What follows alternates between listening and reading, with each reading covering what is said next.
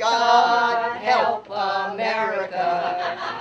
We need you bad, cause our leaders are cheaters, and they're making the world really mad. Climbing mountains, crossing oceans, and invading foreign soil.